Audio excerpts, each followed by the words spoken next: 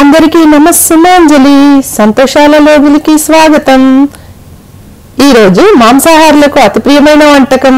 చేపల వేపుడును మన రుచి మధురంలో చేసేద్దామా?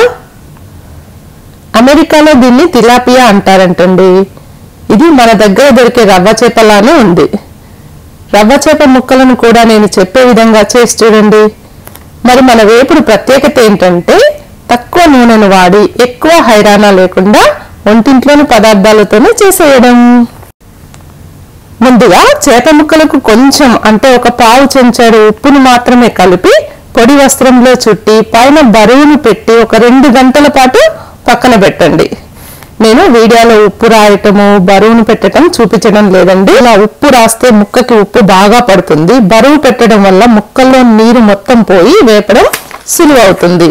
ఇప్పుడు మసాలా కోసం ఒక పళ్ళెంలో ఓ చెంచాడు అల్లం వెల్లుల్లి ముద్ద అర చెంచాడు పసుపు రెండు చెంచాల కారం ఓ చెంచాడు ఉప్పు మరో చెంచాడు గరం మసాలా పొడి ఒక చెంచాడు ధనియాలు జీలకర్ర కలిపి చేసిన పొడిని నాలుగు చెంచాల నూనె వేసి అన్నింటిని బాగా కలుపుకోవాలి.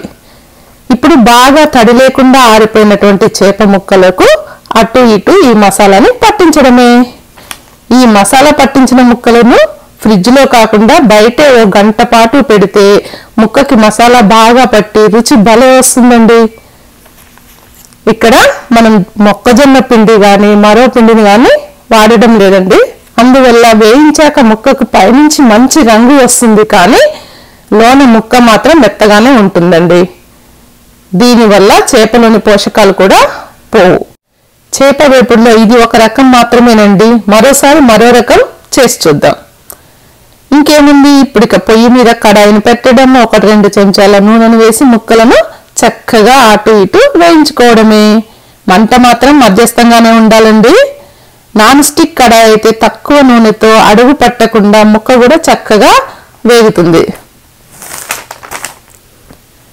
ఇప్పుడిక ఈ ముక్కలను పప్పుచారు అంచిన నంజుకు తింటే ఆహా అనకుండా ఉండలేరండి.